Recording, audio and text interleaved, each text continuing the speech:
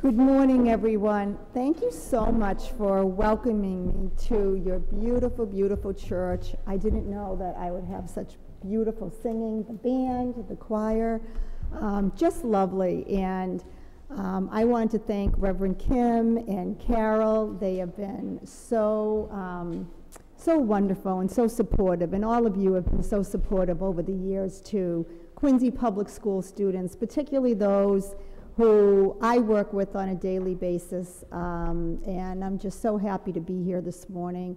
I have to tell you, as a as a Quincy girl at heart, I don't live in Quincy now. My mom still does, but um, walking into this church, it, it, really brings back a lot of memories. This was my uh, I went to Quincy Point Middle School. Well, it was junior high back then because I'm pretty old, but. Um, and I went through Quincy High, but I came here in seventh grade. Um, the middle school, the junior high, had dances here, and this was my first seventh grade dance coming into one of these halls here, and for a um, gawky, very quiet, shy, um, introverted girl, I had my first slow dance in this this church, very, very, very here, but.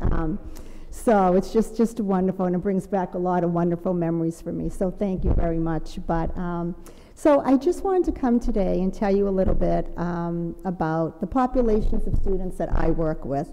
Um, and as Carol gave in the background, it's a varied, um, it's a varied population. I work with um, students who she had said uh, could be pregnant or parenting, and we do have a couple. Luckily, the numbers are down. Um, I work with students who have been removed from their homes for abuse, neglect, um, a lot of horrible things, and um, they've been removed from their homes and then they need to continue in Quincy Public Schools. So I am the contact through Department of Children and Families, and I work with the students and you know make sure they have what they need to continue um, in school successfully and I work with um, students, my main population, who fall under a federal law called McKinney-Vento, and you'll see that, you know, in the um, in the pamphlet as well.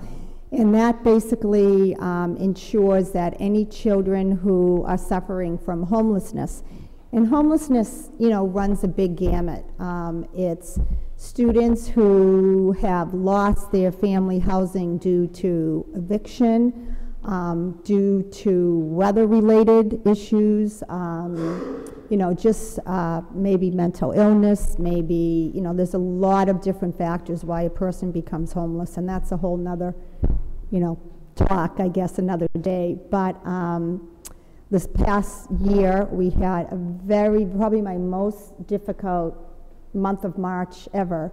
Um, and we had various, with the four nor'easters that Quincy experienced in the flooding. Um, we had over 30 families that were displaced in the matter of a night, um, who were placed at hotels, who were scattered all around different communities. Um, so that was a very difficult time. So fires, um, if a family in Quincy experiences a fire and um, and there are a number of fires in Quincy, you know, sadly, there are every year. Um, last year was a tough year. We had a lot of fires and families got um, displaced due to fire. So many, many vast reasons. Um, some families are what we call doubled up. And doubled up means that they, they lost their permanent housing for some reason and now maybe they're staying with um, family or friends in the area or maybe in a different um, community other than Quincy, we still want those kids to continue at Quincy Public Schools. Um, and, you know, we have, we deal with drug addiction a lot.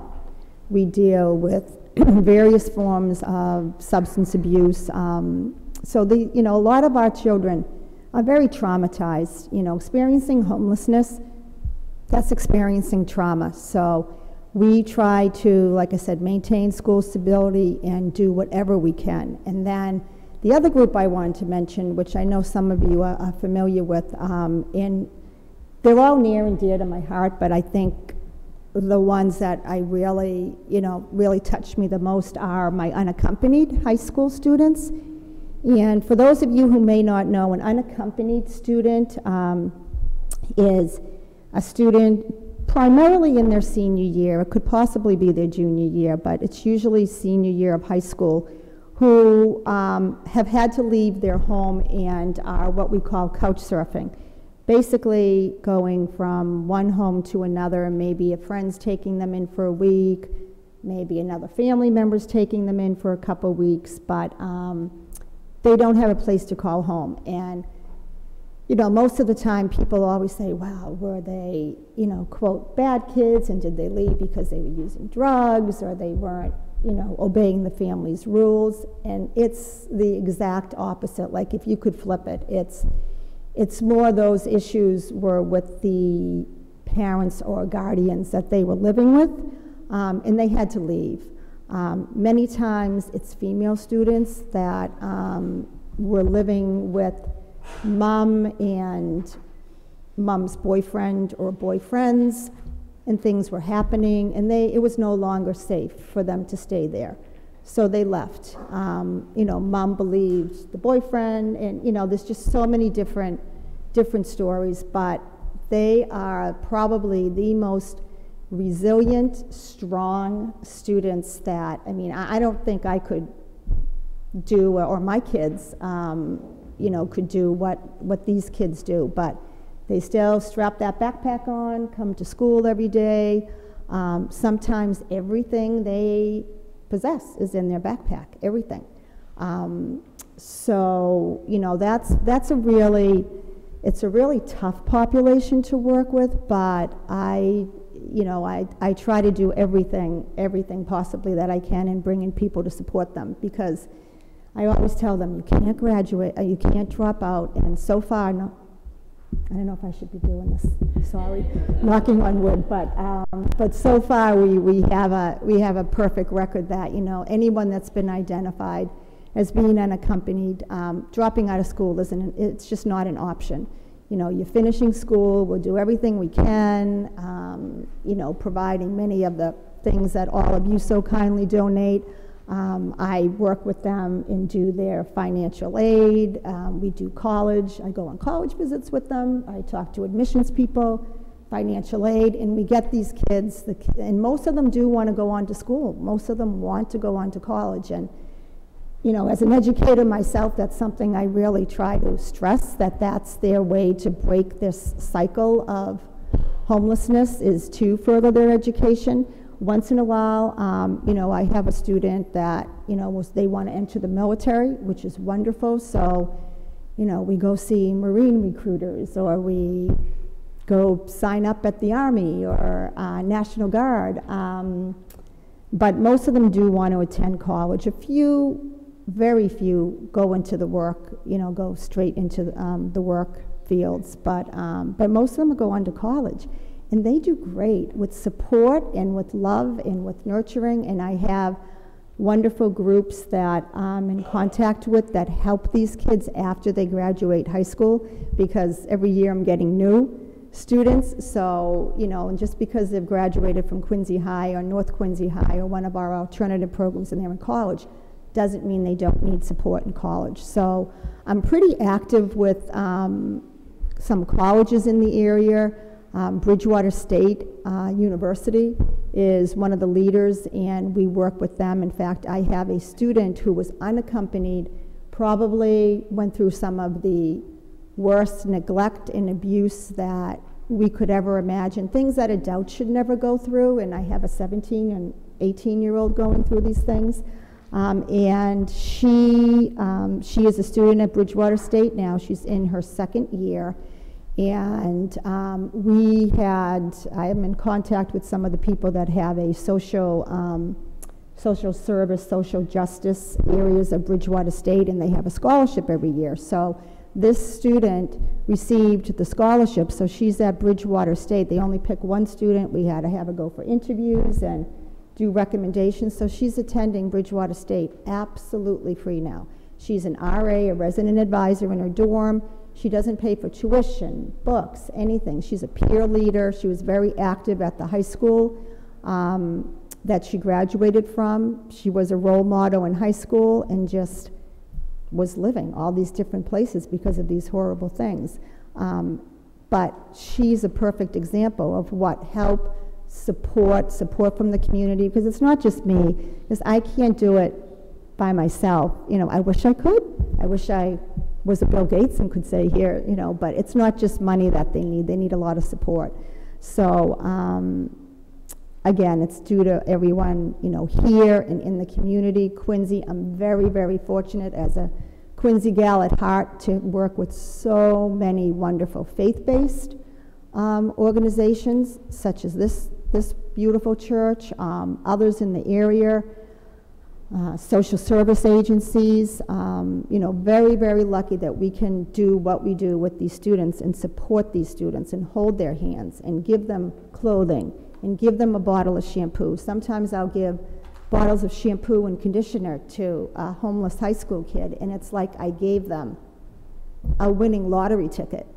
Um, it's just, you know, the, and, and then what's even more um, touching. And I always say I wish the people that do so much in support, I can't because of confidentiality, obviously, but um, you know, I wish you could meet some of these kids because they're so appreciative of everything that all of you and all the community members do.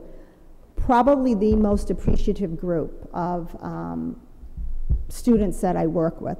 Um, they have this fortitude and this grit and this hope that things will change in their lives. And it's because of all of you and the things that you do in the community that it does make a difference. You know, sometimes you write a check and you say, you know, my husband's always saying, you know, let's contribute to this. Let's, you know, and we've been contributing United Way for probably a million years, and we have a lot of different things. And I always say, I hope it gets to the right I hope it gets to the right people. Like, I hope it trickles down. I hope it really, I don't mind contributing, but everyone works hard. I'm sure all of you work extremely hard here. And if you are donating, you want, you want to know that what you're donating, whether it's your time, your effort, your money, it is making a difference. And I can assure all of you here that when you do things at Christmas, or when you do a back to school drive, or you do anything that you do, and it's not just for Quincy Public Schools, I know you help out interfaith social services and other communities. Um, but speaking for Quincy Public Schools, when you do something for me, for my group of students, it's, it's life changing because it's showing them that a total stranger, a, a totally you know, unique group of people that have never met them want to help, that they care. And a lot of these students, they haven't had anyone care.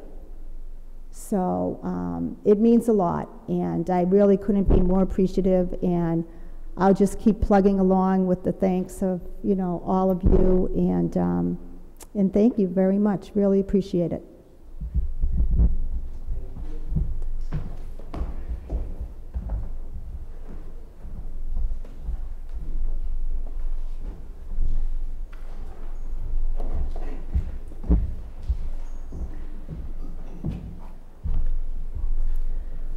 We thank you, Leslie, for all of the hard work that you do in helping to spearhead these programs for our our youth, our young people, those who are in, in need. And we, you are the face of that program, and we thank you so much for being with us today. I know, unfortunately, you have to leave right away after church, but if anyone has any questions for Leslie, um, let either Carol or me know, and we'll make sure that you get that and, and answer those questions if you can. And because of all that we do for our community and for the city of Quincy, we continue to give sacrificially and in love. And now our offering of our gifts will be gathered.